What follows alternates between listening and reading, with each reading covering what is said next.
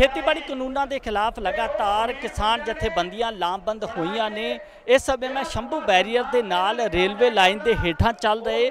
ਉਸ ਪ੍ਰਦਰਸ਼ਨ ਦੇ ਵਿੱਚ ਆ ਜਿੱਥੇ ਤਮਾਮ ਕਿਸਾਨ ਜਥੇਬੰਦੀਆਂ ਵਿਰੋਧ ਪ੍ਰਦਰਸ਼ਨ ਕਾਫੀ ਦਿਨਾਂ ਤੋਂ ਕਰ ਰਹੀਆਂ ਨੇ ਤੇ ਇਸ ਸਮੇਂ ਹੁਣ ਇਹਨਾਂ ਜਥੇਬੰਦੀਆਂ ਨੂੰ ਸਿੰਗਰਾਂ ਦਾ ਹੰਗਾਰਾ ਵੀ ਮਿਲਿਆ, ਸਿੰਗਰਾਂ ਦਾ ਸਾਥ ਵੀ ਮਿਲਿਆ। ਮੈਂ ਤੁਹਾਨੂੰ ਤਸਵੀਰ ਦਿਖਾ ਦਿੰਦਾ, ਕਿਸਾਨ ਜਥੇਬੰਦੀਆਂ ਦੀਆਂ ਤਕਰੀਰਾਂ ਚੱਲ ਰਹੀਆਂ ਨੇ ਤੇ ਇਸ ਪ੍ਰਦਰਸ਼ਨ ਦੇ ਵਿੱਚ ਪੰਜਾਬੀ ਸਿੰਗਰ ਹਰਭਜਨ ਮਾਨ ਪਹੁੰਚੇ ਹੋਏ ਨੇ, ਰਣਜੀਤ ਬਾਵਾ ਪਹੁੰਚੇ ਹੋਏ ਨੇ ਕਮਰ ਗਰੇਵਾਲ ਪਹੁੰਚੇ ਹੋਏ ਨੇ। ਇਸ ਤੋਂ ਇਲਾਵਾ ਤਮਾਮ ਜਿਹੜੇ ਸਿੰਗਰ ਤੁਸੀਂ ਤਸਵੀਰਾਂ ਦੇ ਵਿੱਚ ਦੇਖ ਰਹੇ ਹੋ, ਇਹ ਸਿੰਗਰ ਪਹੁੰਚੇ ਹੋਏ ਨੇ। ਕਮਰ ਗਰੇਵਾਲ ਬੈਠੇ ਹੋਏ ਤੁਸੀਂ ਦੇਖ ਰਹੇ ਹੋ।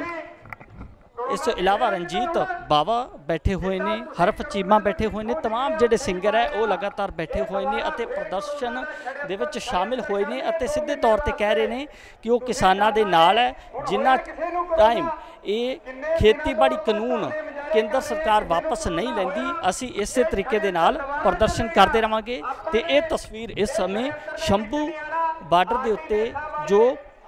ਰੇਲਵੇ ਟਰੈਕ ਹੈ ਉੱਥੋਂ ਦੀ ਬੜੀ ਹੋਈ ਹੈ ਤੇ तमाम ਤਸਵੀਰਾਂ ਲਗਾਤਾਰ ਤੁਹਾਨੂੰ ਅਸੀਂ ਦਿਖਾਉਂਦੇ ਰਵਾਂਗੇ ਕੈਮਰਾਮੈਨ ਦੀਪਕ ਦੇ ਨਾਲ Ravinder Singh Dainik Savera TV all world open challenge 17 time gold medalist Miyan Rafiq Mohammad पंडित मौलवी बेगम तांत्रिक इन्ना चोरा ठग्गा तो सावधान स्पेशलिस्ट वशीकरण सट्टा नंबर लव मैरिज पति पत्नी च अनबन विदेश च पक्का होना कारोबार दा ना चलना सिर्फ 31 घंटिया विच समाधान free free free Miyan Rafiq Mohammad mobile चौरासी तीन सौ चौहत्तर, चौरानवे छह सौ संताली चौरासी तीन सौ चौहत्तर, चौरानवे छह सौ अड़ताली देश दुनिया की हर वड्डी खबर तले डाउनलोड करो number one news app, Dainik Savera times.